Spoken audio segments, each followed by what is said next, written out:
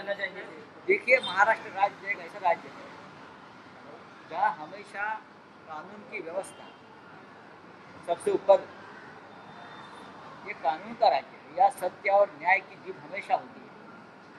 और यहाँ की पुलिस, यहाँ की न्याय व्यवस्था, यहाँ का शासन हमेशा ये देखते आया है कि कितनी भी छोटी व्यक्ति हो, बड़ी व्यक्ति हो, कानून से ऊपर कोई नहीं। और सबको कानूनन अपना हक अधिकार और न्याय मिलना चाहिए। ये महाराष्ट्र राज्य की परंपरा है। वही चाहे फिर शासन हो प्रशासन हो पुलिस हो और न्याय व्यवस्था। तो सरकार ने जितनी मांगे की थी महाराष्ट्र सरकार ने सुप्रीम कोर्ट से जितनी मांगे की थी वो केस को मुंबई में रखने से लेकर जाँच को लेकर पटना से मुंबई ट्रांसफ़र करने को लेकर तमाम बातों को अलग करके सुप्रीम कोर्ट ने जो फैसला सुनाया है तो आपको नहीं लगता? देखिए आप सुप्रीम कोर्ट ने फैसला सुनाया है। हाँ। अब उस लीगल प्रोसीडिंग के बारे में। जो व्यक्ति सरकार के सरकार में नहीं है उसने मत चर्चा करना ठीक नहीं है जो कानून के जानकार सरकार में बैठे हैं या मुंबई पुलिस के कमिश्नर हैं या हमारे एडवोकेट जनरल साहब हैं वो इसके ऊपर बात कर सकते केंद्र के दबाव में केंद्र के दबाव में राज्य सरकार हार गई हैं देखिए अब सर्वोच्च न्यायालय ने निर्णय दिया है तब राजनीतिक बात करना उचित नहीं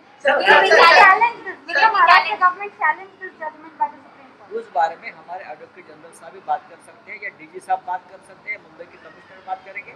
मैं बात करना उचित नहीं चाहे मेरे पास जानकारी हो या ना। से से बीजेपी बोलेगी पूरे मामले में ना अनिल इस्तीफा दे देना चाहिए तो उन्हीं के अंदर मुंबई है और देखिए अगर इस्तीफे की बात निकले तो दिल्ली तक जाती दूर तक जाती तो इस प्रकार की बात करना किसी नहीं खास करके महाराष्ट्र राज्य में जो हमारे विरोधी दल में बैठे हुए साथी हैं सोच समझकर उसके ऊपर टिप्पणी करनी चाहिए। महाराष्ट्र राज्य का इस तरह से बदनामी करना ठीक नहीं है।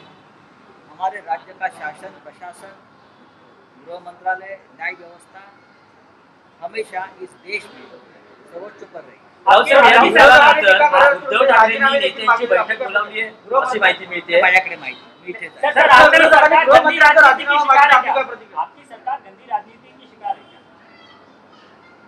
ये आप ही बोल रहे हैं। इस इस मामले में तो हमेशा पहले दिन से राजनीति चलती रही।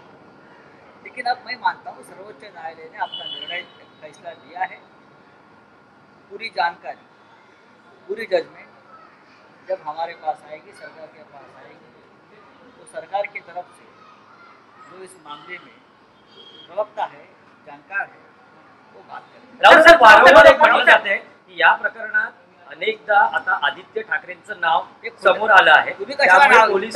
पोलिसांवर दबाव नाही कोणावर. तुम्ही उगाच कशा करताय? गृहमंत्र्यांचा राजीनामा मागताय विरोधक आपली गृहमंत्री उत्तर द्यायला सक्षम आहे. महाराष्ट्र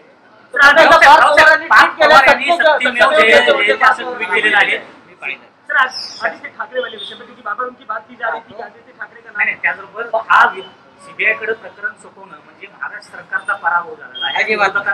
कायदेशीर लढाईमध्ये असे निर्णय येत असतात. जर कोणी ठरवलंच असेल अशा प्रकारचं काही भूमिका घ्यायच्या त्याच्यावरती राज्य सरकार काय करत?